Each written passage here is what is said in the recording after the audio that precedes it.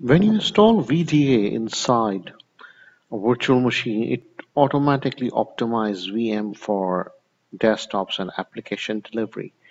And that's what happens when we install Windows Server 2012 master image to provision XenApp server. When we install VDA, it automatically optimizes machine for uh, desktop as well as application delivery.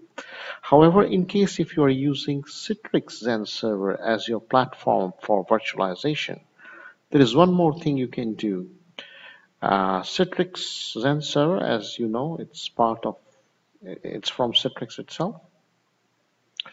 So there is setting that you can configure uh, to optimize this virtual machine for XenApp. Xen server knows and what what are the requirements to run Xen app and under which settings uh, XenApp performance will work best. What parameters to tweak in order to optimize performance for XenApp. So if you go to the properties of VM and under advanced options, you have this option of optimize for Citrix Xen app. If you select this option, Citrix Xen server will automatically tweak this VM and configure required and necessary parameters in background to make sure this application can works well.